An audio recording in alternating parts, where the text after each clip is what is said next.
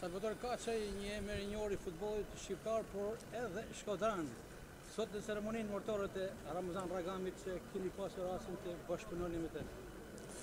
Është një ditë e dhimbshme për futbollin kombëtar, jo vetëm shkodran.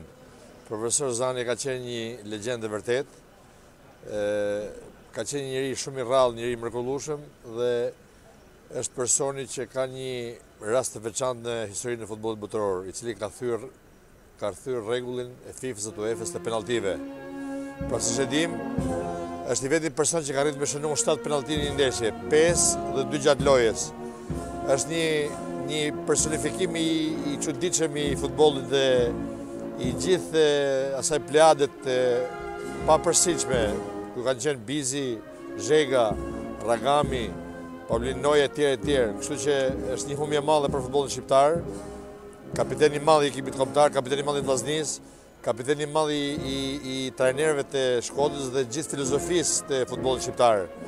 Pra sot futbolli shqiptar dhe pse jo dhe botëror dhe europian ka humbë një nga figurat më të shquara të Të këtij sporti masiv, të sportit më të dashur në botë, i përcjell ngushëllime familjes së tij, gjithë futbollit shkodran që është djepi i futbollit shqiptar dhe gjithë ekipit kombëtar dhe gjithë futbollistëve që ai ka rrit disa breza sepse ka rrit rreth 30 breza rresht, pra për 3 dekada ka stërvit shumë breza, shumë lojtar yje të futbollit shqiptar, janë produkt dhe pjell e Zan Ragamit dhe e gjithë kësaj e kësaj mjeshtrie të futbollit që ka pjellë Shkodra dhe ka ka kanë lind në Shkodër.